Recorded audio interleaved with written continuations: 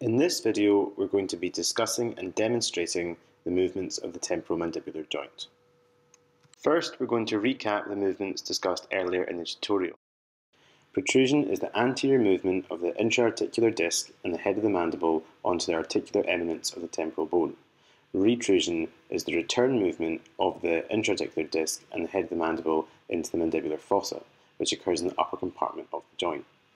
Depression and elevation involve lowering and raising the jaw, which occurs in the lower compartment of the joint between the intra-articular disc and the head of the mandible. Lateral deviation involves alternating protrusion and retrusion of the right and left temporomandibular joints. Opening the mouth involves a combination of depression and protrusion, and closing the mouth involves a combination of elevation and retrusion. Here we can see protrusion, retrusion, depression, elevation, and lateral deviation occurring at the temporomandibular joints.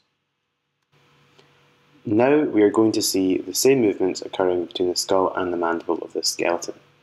We're going to start by seeing protrusion of the head of the mandible onto the articular eminence of the temporal bone and retrusion back into the mandibular fossa.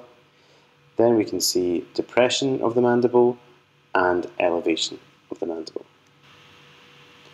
Opening the mouth involves a combination of protrusion and depression, which we can see occurring here.